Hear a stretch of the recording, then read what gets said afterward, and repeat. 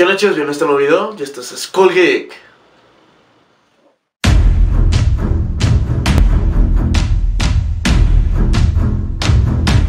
Bueno chicos, en esta ocasión vamos a hablar sobre la nueva película animada de Warner Bros. de Scooby-Doo. Scooby-Doo conoce a Coraje, el perro cobarde. La verdad esta película me gustó bastante, me gustó porque es, es una película que trae bastante nostalgia. Con la combinación de Scooby-Doo, Where Are You y Coraje, el perro cobarde en una misma película, fue un gran, gran resultado. La verdad, el- el- la combinación de estas dos series fue algo genial para esta película. Dura aproximadamente una hora 10 minutos, no dura tanto, pero se van a morir de risa, les va a divertir bastante y la historia sí atrapa bastante.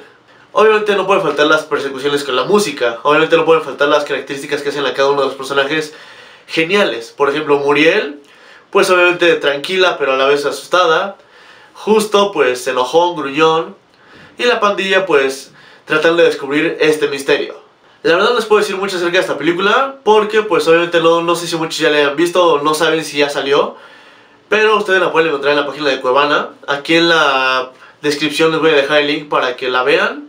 En español latino, subtitulada como ustedes quieran, pero aquí les dejo el link. Y bueno, como nos muestra en el trailer, este, son cigarras grandes que están atacando pues el- la ciudad donde vive Coraje, prácticamente se llevan a personas, este, está- hay cuevas misteriosas que no tienen alguna explicación lógica, pero en verdad es una película que no te puedes perder. Si eres un fanático de Scooby-Doo así como yo lo soy, esta es una de las películas mejores, bueno, esta es una de las mejores películas que han hecho de Scooby-Doo animada en, en estos años, en estos últimos años, la verdad. Aquí pues también es un poquito triste porque pues como todos sabemos, la actriz que le daba la voz a Muriel pues falleció. Y ahorita es, es una nueva voz. Es, es- es difícil verla con una voz diferente en español. Porque crecimos con, con la original y eso se siente feo, ¿no? Saber que pues la actriz tristemente ya no está con nosotros. Bueno, aquí otra cuestión que me gustó bastante fue la animación. Fue cómo hicieron los dibujos, este, las secuencias, todo eso me gustó bastante. No tiene algún toque que se haya visto feo, no, no, nada.